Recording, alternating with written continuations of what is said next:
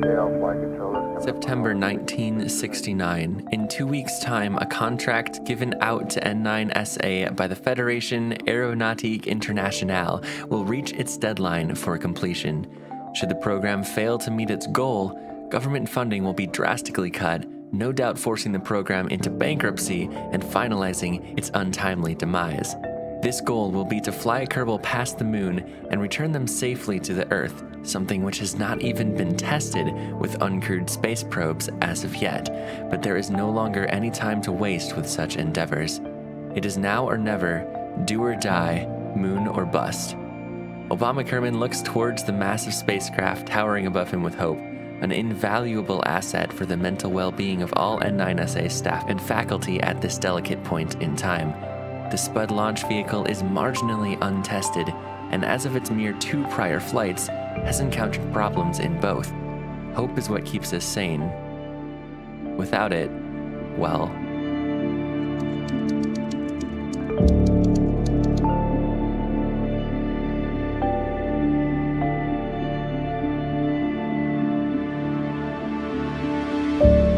Welcome back to Realism Overhaul. It's been a little while, but we are back today and attempting to land on the moon with a lunar probe.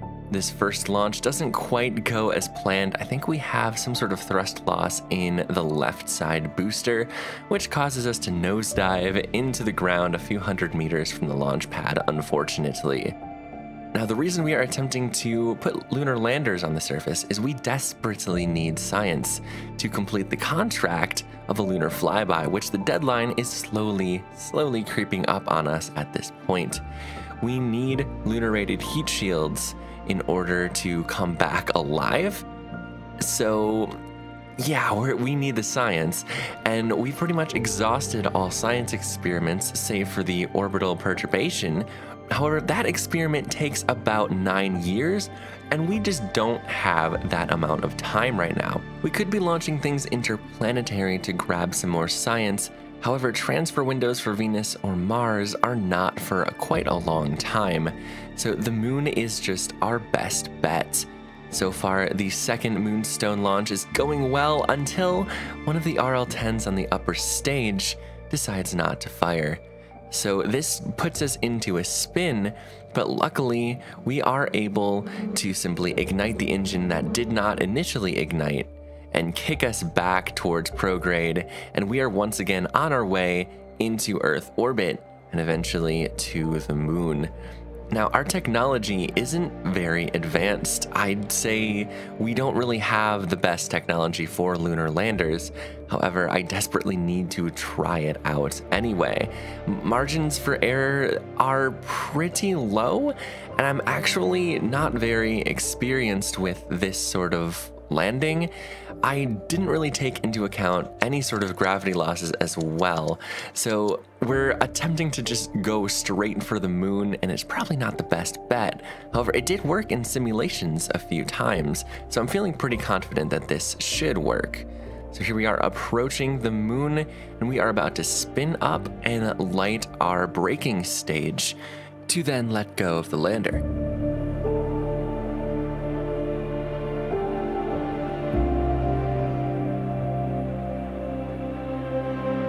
For some reason, I believe that's the Altair booster. Whenever it finishes its burn, it blows up every single time, and I'm not exactly sure why.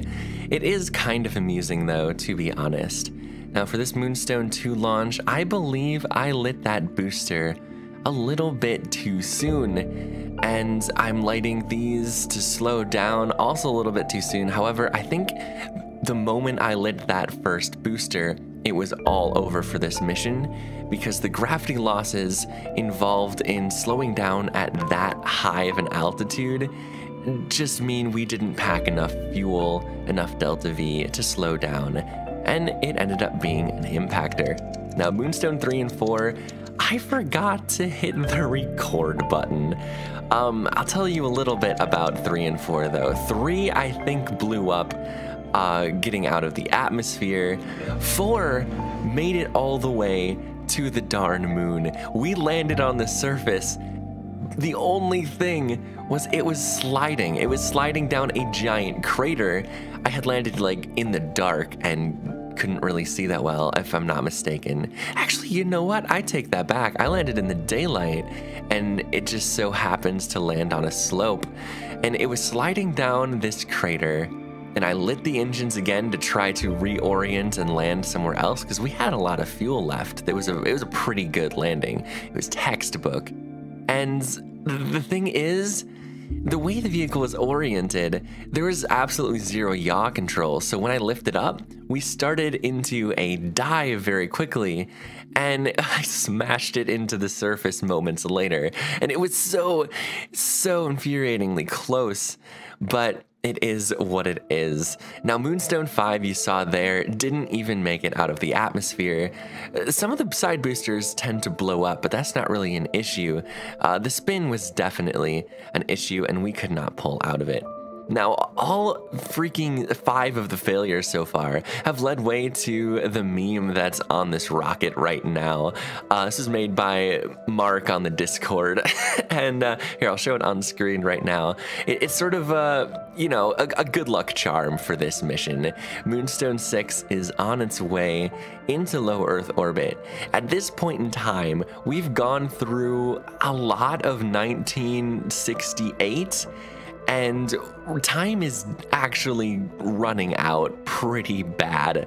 So we desperately need to get this on the surface and get this science back home. Something else we don't even have for this lunar flyby mission is a crewed vehicle. We haven't been sending crew into space since Icarus, I believe, and because we've updated from 173 to 181, uh, tank things changed where you can't send a tank through uh, Earth's atmosphere in re-entry at orbital speeds without it blowing up the entire vessel anymore. So the Icarus spaceplanes are going to have to wait for shielded tanks to do something like that again. Furthermore, our crew has had zero training at all for capsules, and that is going to take like a year. So at this point in time, I believe, is when we decided to start training. We have two Kerbals. I hired a new Kerbal. We have Obama from before, but we also have Kermit Kerman from So Now Run and both of them needed to start their training for a capsule. And I had a few choices. We had Gemini, we had Mercury, we had Vostok, and we have Voskhod. And what we ended up going with is Vostok, a one Kerbal capsule that is going to fly around the moon. The reason for this is the training for proficiency with this capsule was the lowest of them all, and we are actually able to get life support and stuff working for that capsule rather well for some reason. So that is what they are working on for the duration of, of probably the entire year and most of the year in 1969 as well. Need the mission training as well. And we're also desperately and frantically building in the editor for a while, trying to get a vehicle capable of lunar flyby. Approaching the moon, we are about to light our booster to slow down this time at a much lower altitude than Moonstone 2 attempted, because I've learned this with Moonstone uh, 4, the one that almost worked. Having it at a lower altitude is our key to success. Unfortunately, as we approach the moon from this trajectory, it is pitch black. We didn't really have time to wait for a nice bright side of the moon to land on because of how desperate we are for time. So unfortunately, we are landing this thing without being able to see a darn thing on the surface. Luckily, I can add the brightness in post so we can see what I couldn't see while I was attempting this landing.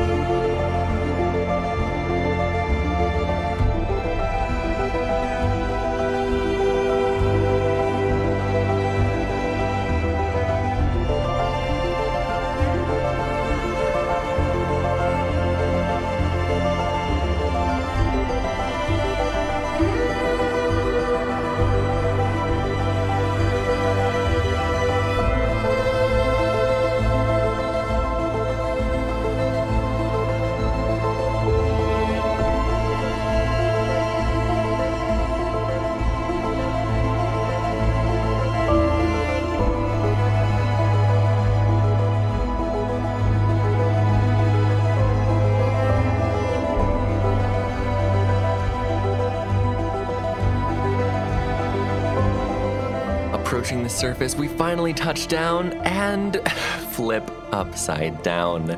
Luckily for us, those solar panels are not going to be needed because we are in the night side of the moon anyways. Meteorite detection and cosmic ray science, two of the experiments I brought on board that I was hoping to do a long duration science on the lunar surface with, I was unable to run. And because of this, we did not get enough science to unlock the tech node of lunar heat shields. So time is definitely ticking down to the potential end of N9SA.